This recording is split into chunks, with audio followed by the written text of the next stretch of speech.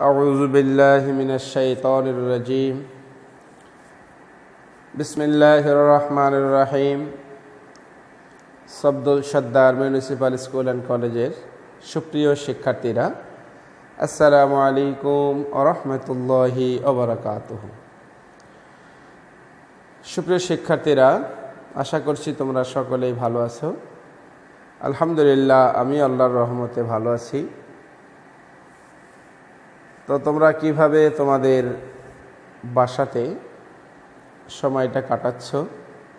কীভাবে লেখাপড়া করছ? সেটা আমাদেরকে জানাবে। তো সুপ্রিয় শিক্ষার্থীরা, তোমাদের আজকে আমার আলোচনার বিষয় হচ্ছে ইসলাম শিক্ষা একাদশ শ্রেণি। একাদশ শ্রেণির ইসলাম শিক্ষা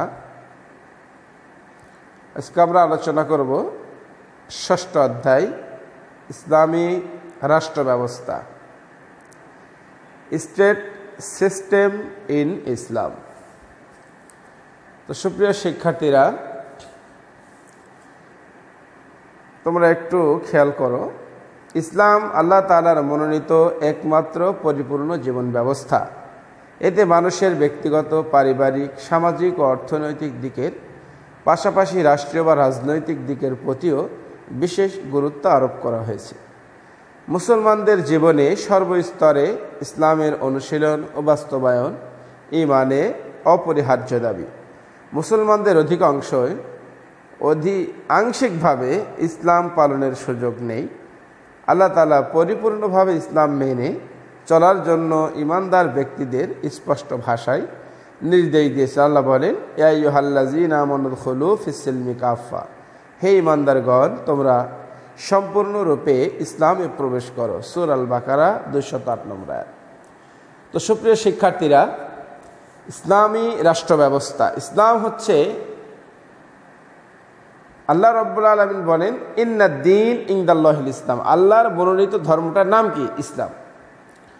তো আল্লাহ তালার মনোনীত ধর্ম হলো ইসলাম। আর আর ইয়াইহাল্লাজিরামানু উদখলু ফিসিলমি কাফা আল্লাহ তালা ইমানদারদেরকে বলছেন যে তোমরা ইসলামের ভিতরে পরিপূর্ণভাবে প্রবেশ করো। আংশিক না। আমি কিছু অংশ মেনে নিব, কিছু অংশ ছেড়ে দিব। এটা কিন্তু ইসলাম আমাদের জন্য, এই পথ কিন্তু ইসলাম আমাদের দেখায়নি। আমাদের পথ দেখিয়েছে কোনটা? ইসলাম আমাদের পথ দেখিয়েছে হলো একেবারে পারিবারিক জীবন থেকে শুরু করে বা ব্যক্তিগত জীবন থেকে শুরু করে আন্তর্জাতিক জীবন পর্যন্ত প্রতিটা ক্ষেত্রে, প্রতিটা সেক্টর প্রতিটা পদক্ষেপে ইসলামকে অনুসরণ করতে হবে। তাহলেই আমি পরিপূর্ণ মানুষ, পৃথিবীতে হব, পূর্ণ মুসলমান আমি কিন্তু হব। এই জন্য সুপ্রিয় শিক্ষার্থীরা, তোমরা এখানে সবচেয়ে বড় কথা হলো, কীভাবে পরিপূর্ণতা আমরা অর্জন করব কাফের? এই কুফরি কাজ, অশ্বাসের কাজ, অন্যায়, অশ্লীল কাজ, খারাপ কাজ থেকে বিরত থাকা এবং আল্লাহ যে হুকুমগুলো দিয়েছেন, আল্লাহ তালার ইবাদতের জন্য যে কাজগুলো আমাদেরকে দিয়েছেন, সেই কাজগুলো বেশি বেশি করে পড়া। আল্লাহর আদেশগুলো মেনে নেওয়া আর নিষেধগুলো বর্জন করা, এই হলো ইসলামের পরিপূর্ণতা। সুপ্রিয় শিক্ষার্থীরা, তো আসো আজকে আমাদের ষষ্ঠ অধ্যায়ের প্রথম পাঠ আমরা ইসলামী রাষ্ট্রের পরিচয়। ইসলামী রাষ্ট্রের পরিচয় হলো মানব সমাজে বৃহত্তর সামাজিক সংগঠন হলো রাষ্ট্র। এটি রাজনৈতিক মতাদর্শ ও বিধি ব্যবস্থার বাস্তব প্রতিকৃতি। সাধারণত একদল অনুগত জনগোষ্ঠী, নির্দিষ্ট ভূখণ্ড, নির্ধারিত শাসনতন্ত্র, সার্বভৌম ক্ষমতার সমন্বয়ে রাষ্ট্র বাস্তব রূপ লাভ করে। মানব জাতির আধুনিকতম সুসংহত সমন্বিত প্রতিষ্ঠান হল রাষ্ট্র। এটি এমন একটি জনগোষ্ঠী বা একটি নির্দিষ্ট ভূখণ্ডে সুসংগঠিত সরকার প্রতিষ্ঠা করে স্বাধীনতা স্বাধীনভাবে বসবাস করে। খ্যাতিমান আমেরিকান রাষ্ট্রবিজ্ঞানী অধ্যাপক জেমস উইলফোর্ড গার্নার বলেন, সুনির্দিষ্ট ভূখণ্ডে স্থায়ীভাবে বসবাসকারী সুসংগঠিত সুসংগঠিত সরকারের প্রতি স্বভাবজাতভাবে আনুগত্যশীল, বহিঃশত্রুর নিয়ন্ত্রণ হতে মুক্ত স্বাধীন জনগোষ্ঠীকেই রাষ্ট্র বলে। এটা হচ্ছে আমাদের একজন রাষ্ট্রবিজ্ঞানী, আমেরিকান একজন রাষ্ট্রবিজ্ঞানী, জেমস উইলফোর্ড গার্নার। তিনি তার মত অনুযায়ী সংজ্ঞাটা দিয়েছেন। তবে ইসলামী রাষ্ট্রের ব্যাপারে বলা হচ্ছে এখানে একটু লক্ষ্য করো, রাষ্ট্রবিজ্ঞানী মাজিদ খাদ্দুরি বলেছেন, ইসলামী আদর্শের ভিত্তিতে প্রতিষ্ঠিত এহলৌকিক নেতৃত্বের একটি সামষ্টিক প্রতিষ্ঠান হলো ইসলামিক রাষ্ট্র। তাহলে রাষ্ট্র হলো দুই প্রকার, একটা হলো ইসলামী রাষ্ট্র আর একটা হলো জেনারেল রাষ্ট্র বা সাধারণ রাষ্ট্র। তো আমাদের আমরা হচ্ছে ইসলামী রাষ্ট্র নিয়ে আমাদের আলোচনার বিষয় হচ্ছে ইসলামিক রাষ্ট্র।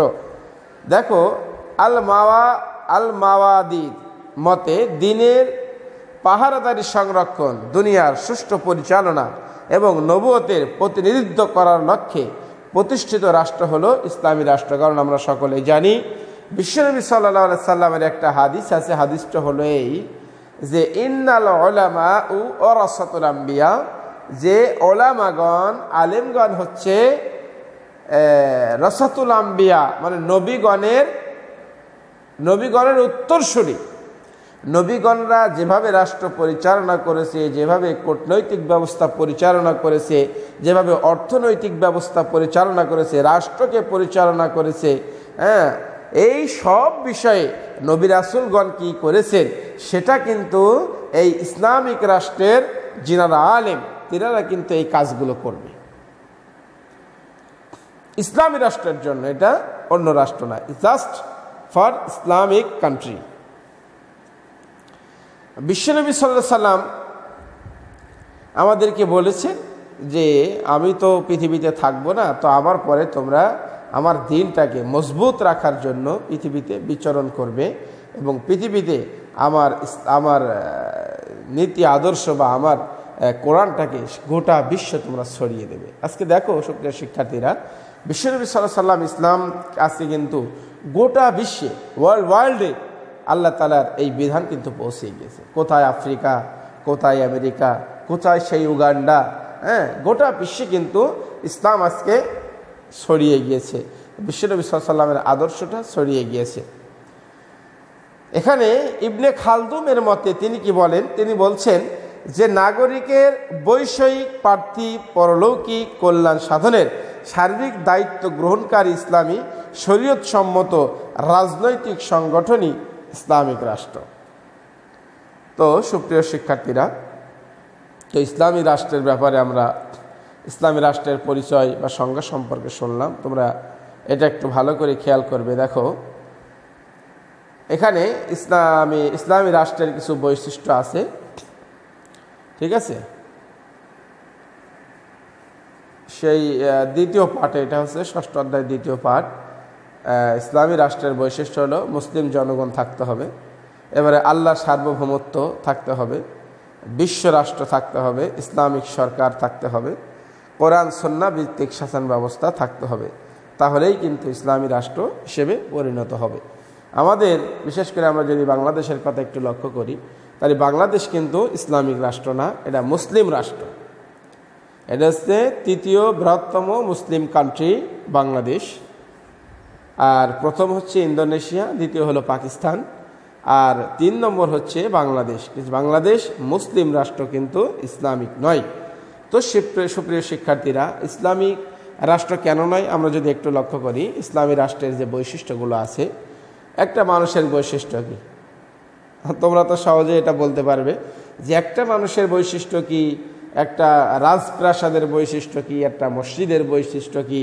একটা বাড়ির, বাড়িঘর দৌড়ের বৈশিষ্ট্য কি? সে তদ্রুপভাবে ইসলামী রাষ্ট্রের যে বৈশিষ্ট্যগুলো এখানে তুলে ধরা হয়েছে, এই বৈশিষ্ট্যগুলো যদি একটা রাষ্ট্রে থাকে, তাহলে নিঃসন্দেহে আমরা বলতে পারি সেটা কি? ইসলামিক রাষ্ট্র। তো সুপ্রিয় শিক্ষার্থীরা, তোমরা ইসলামী রাষ্ট্রের বৈশিষ্ট্য এবং ইসলামী রাষ্ট্রের পরিচয় এইগুলো, আর বিশেষ করে যেগুলো যে সংজ্ঞাগুলো দেওয়া আছে, প্রথম পার্টে সংজ্ঞাগুলো তোমরা একটু মনে রাখবে, কারণ সংজ্ঞাগুলো নিঃসন্দেহে তোমাদের পরীক্ষায় আসবে এবং বৈশিষ্ট্যগুলো একটু ভালো করে খেয়াল করবে। তো সুপ্রিয় শিক্ষার্থীরা, তোমরা সকলে ভালো থেকো।